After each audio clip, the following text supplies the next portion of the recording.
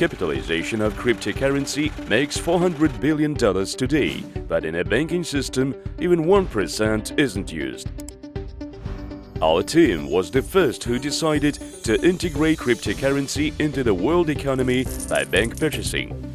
The 27th of April, tokens will start advance selling with face value of 1 euro to our plan of 25 million euro realizing and buying the bank operating in Europe for 6 months.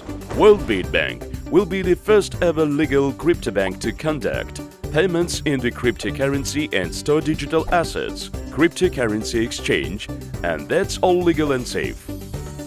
The central office of our company is located in the capital of Bank, Switzerland. Webcoin token buyers will be able to pay for goods and services not only by usual money but also by cryptocurrency due to card of World Bit Bank. In 2018, we will carry out large-scale sale of Webcoin tokens and we will buy 9 worldwide more operating banks. Join us and buy token Webcoin.